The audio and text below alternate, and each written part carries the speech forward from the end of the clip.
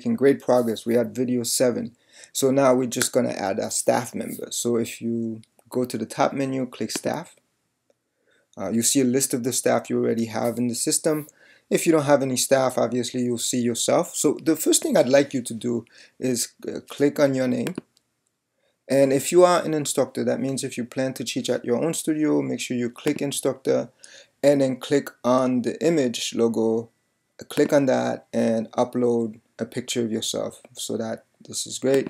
And the other thing you want to do is go to the public profile and add a bio, some sort of bio information here if your public profile is blank, um, your picture, uh, your bio will not show on your website if you embed uh, your instructor's bio on your website using Karmasoft embedded code.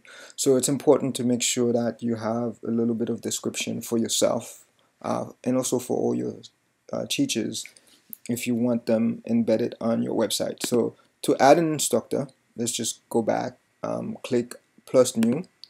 And I'm, I'm gonna put my friend Heather here. Uh, last name is books.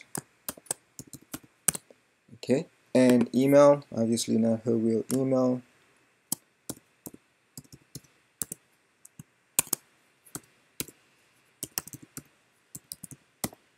and yes she's an instructor so I'm clicking the box instructor. I want her available to teach both classes and workshop.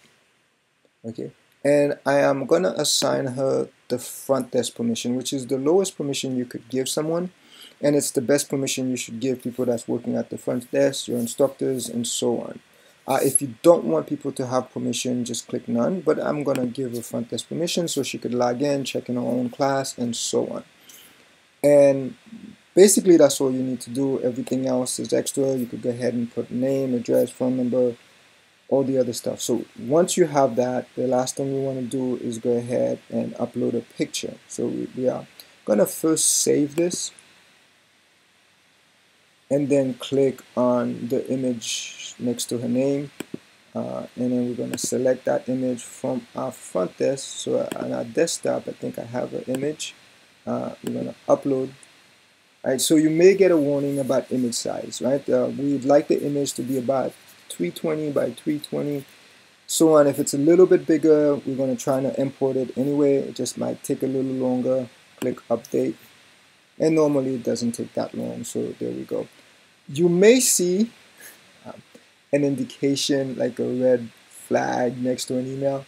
That, that just means in our opinion it's not a valid email or we think the email is going to bounce or whatever so I made this email up so if you see that um, maybe it's probably indication for you to change the email address to a more valid email address. So that's it. We added an instructor and we are ready to go. Namaste. Talk to you soon.